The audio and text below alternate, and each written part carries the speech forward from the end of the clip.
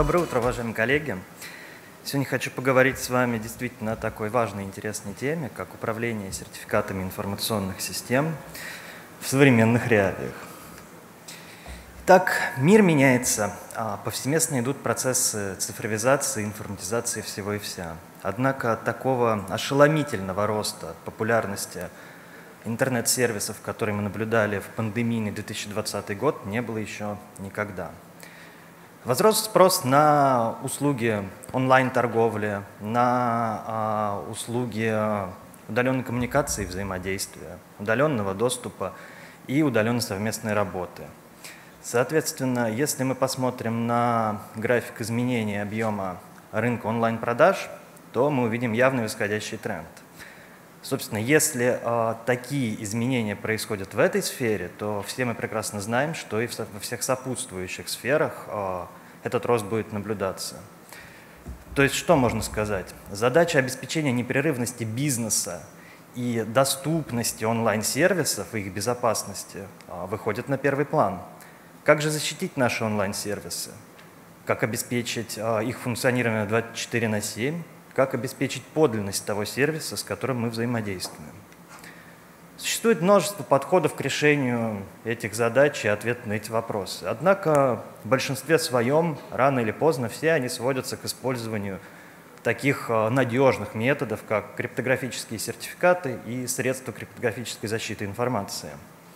Получается, задача администрирования сертификата, задача его поддержки становится куда более важной, ведь согласитесь, если ну, на примере платежного шлюза истек сертификат э, платежного шлюза, люди просто не могут оплатить на нем ну, никакие услуги, никакие товары до момента его замены. Соответственно, это прямые убытки владельца этого шлюза. А если таких шлюзов десятки, сотни или тысячи? С ростом объемов потребления, соответственно, растет и э, объем инфраструктуры, обеспечивающей соответствующие сервисы ну и количество задач по администрированию этой инфраструктуры. Рано или поздно администратору будет просто физически сложно справиться с объемом поступающих задач. Тогда следует либо ну, расширять, соответственно, штат обслуживающего персонала, что является, опять же, а, финансовыми вложениями в эту сферу, либо задуматься о процессах непосредственно автоматизации управления сертификатами в интересах этих инфраструктур. Счастью, современные технические средства, используя такие подходы, как э, контроль сроков действия, автоматизированный перевыпуск сертификатов и их доставка, аудит и контроль надежности, способны решить поставленную задачу. Как в идеале может выглядеть процесс? Будучи единожды выпущенным, сертификат, ну, скажем, веб-сервера интернет-магазина, а, должен быть установлен и а, отправлен на контроль некоторой системы управления. И уже система управления непосредственно должна решать задачу по контролю срока действия этого сертификата, по его автоматическому перевыпуску, доставке и установке до сервера ну, того же самого веб-сервера интернет-магазина. Процесс должен продолжаться автоматически до тех пор, пока не поступит ну, некоторое, так скажем, информационное влияние, некоторые изменения извне. Ну, допустим, выведут сервер из эксплуатации. Комбинируя современные технические решения и подходы, такой процесс построить совершенно несложно. Поговорим непосредственно о технических возможностях. Если говорить о подключении информационных систем к системе управления, то выделить можно в этом два таких концептуальных подхода. Это ECME-like подход и Agent-like.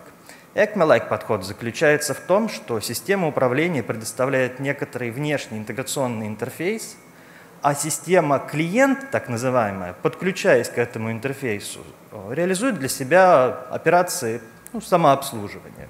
Выпускает сертификаты, перевыпускает их, ну а, соответственно, система управления на запросы информационной системы реализует собственные бизнес-процессы. Использование этого подхода хорошо тем, что оно возможно на нативных возможностях самих информационных систем и сервисов. Однако, к сожалению, не все они поддерживают это. Agent-like подход, в свою очередь, заключается в том, что все задачи по управлению сертификатами в интересах информационной системы клиента берет на себя именно система управления. И реализует она их с использованием обычно некоторого модуля, такого агентского, который ставится непосредственно ну, на сервер информационной системы. С его помощью система управления взаимодействует не просто с программным обеспечением информационной системы клиента, но и с его окружением, ну, например, операционной системой. При использовании этого подхода мы, естественно же, реализуем все а, необходимые нам функции по управлению сертификатами. Ну, и это понятно, потому что функции реализует сама система управления. Также а, использование подхода позволяет нам избежать необходимости доработки программного обеспечения систем клиентов, что особенно важно для legacy-систем. Ну, из минусов можно выделить как раз необходимость установки дополнительного программного обеспечения. Технический уровень, конечно, безусловно важен, однако обеспечение автоматизации процессов управления на бизнес-уровне является не менее важным, даже, я бы, может быть, сказал, и более. А от организации к организации, как мы все знаем, бизнес-процессы меняются. У всех свои уклады, свои устои, э, свои правила. Однако можно выделить ряд основных моментов, на которые стоит обратить внимание – но для начала это необходимость вовлечения в наш бизнес-процесс как можно большего числа его участников. А ведь согласитесь, даже имея самые современные технические средства, администраторы при все возрастающих объемах э, их задач также не смогут справиться с ними. Однако они прекрасно смогут, например, проконтролировать выполнение бизнес-процесса в той или иной системе управления, делегировав функции по самообслуживанию, ну, например, тем же самым администратором информационных систем, в интересах которых работает бизнес-процесс. Вовлекая большое количество участников и делегируя им функции, не стоит забывать о предоставлении нашим участникам удобных, комфортных в работе инструментов для решения их задач, будь то личные кабинеты или даже правильно настроенная система оповещения. Как мы все знаем, а, в жизненном цикле любой инфраструктуры открытых ключей существует большое количество событий, так называемых, возникающих без участия физического лица. И яркий пример такому событию – это событие истечения срока действия сертификата. При автоматизации необходимо не просто не забывать, а необходимо поставить во главу задачу обеспечения правильной реакции и обработки данных событий, что позволит снять колоссальную нагрузку с обслуживающего системы персонала. Так как же правильно построить и автоматизировать процесс управления сертификатами информационных систем? И какие технические возможности предоставляют для этого современные технические решения? Ну, для начала мы должны понимать, а все же в интересах чего и кого мы строим наш бизнес-процесс. То есть провести некоторую инвентаризацию нашей инфраструктуры, определить сервисы, определить системы, устройства – определить их актуальность владельцев. Для этого современные технические решения предоставляют множество возможностей. Ну, начиная а, от таких, как загрузка из различных CMDB и баз знаний, сканирование сетей, ну, а также, соответственно, ручной ввод. Поняв, в интересах кого строится бизнес-процесс, можно переходить непосредственно к его проектированию и построению. На этом этапе особое внимание стоит уделить непосредственно участникам нашего бизнес-процесса и зонам их ответственности. А современные технические средства должны предоставлять гибкие инструменты по разграничению доступа пользователей к системе. Но согласитесь, даже э, если не говорить о аспекте безопасности, администратору конечному удобнее и комфортнее работать в системе, где, ну, грубо говоря, на рабочем столе он будет видеть э, объекты, понятные и знакомые ему, ну, например, там, системы, которыми он как раз занимается, нежели если он увидит все э, зарегистрирование в информационной системе, что создаст какой-то ну, даже диссонанс, неудобство в его работе. Итак, определив бизнес-процесс, э, можно переходить непосредственно к его реализации и интеграции в инфраструктуру. Тут современные технические решения должны предоставлять как возможности по подключению самих информационных систем в наш контур обслуживания.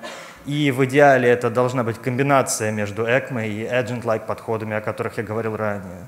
Так и интерфейсы в сторону удостоверяющих центров и их программных комплексов. Ну, согласитесь, а, автоматизация процессов выпуска сертификата без удостоверяющего центра в принципе невозможно. Ну и также подключение некоторых инфраструктурных сервисов вспомогательных, таких как сервисы оповещения, мониторинга, и аудита. Евгений, За... я прошу прощения, э, три минуты у вас осталось. Нельзя как-то... Вот... Я успею. Успеете? Отлично. Да.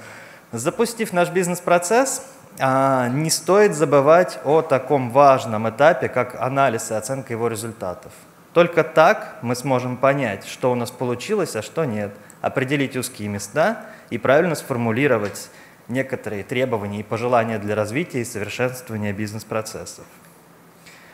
Ну и напоследок хотелось бы поделиться немножечко нашим опытом в данном направлении. Ведь а, первые запросы с рынка поступили к нам еще 6-7 лет назад в данной области. С тех пор мы активно работаем в этой сфере, стараемся наращивать наши компетенции и отвечать всем возникающим на рынке вопросам. А, например, при выборе между ECMA и Agent-like подходами сейчас мы можем однозначно сказать, что в России а, и какое-то время даже в будущем будет популярен именно Agent-like подход. И связано это непосредственно с тем, что большинство информационных систем, использующих в своей работе сертификаты, не просто не поддерживают такие спецификации, как, например, ECMA, они в принципе не проектировались для того, чтобы быть вовлеченными в какие-либо процессы автоматизации. Если мы говорим о бизнес-процессах, то помимо того, что они меняются от организации к организации, они еще и меняются в рамках течения, в принципе, времени, изменяются сами с собой с изменением там, той же предметной области.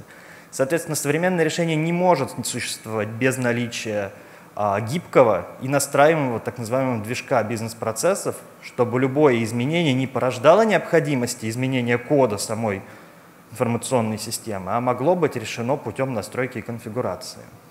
Ну и для удобного пользования системой система должна предоставлять э, явные, четко выделенные сущности, однозначно соответствующие предметной области и модели. Будь то, например, карточки информационных систем, владельцы, администраторы, электронные заявки и так далее – ведь конечному пользователю а, куда удобнее работать с понятиями, а, знакомыми ему, нежели с какими-то абстрактными сущностями. Итого, комбинируя современные технические средства и подходы, которых я сегодня попытался вам рассказать, не составляет никакого труда автоматизировать свой процесс управления сертификатами информационных систем – а соответственно обеспечить непрерывность своего бизнеса и избежать необходимости расширения штата персонала при все возрастающих объемах. Большое спасибо, коллеги.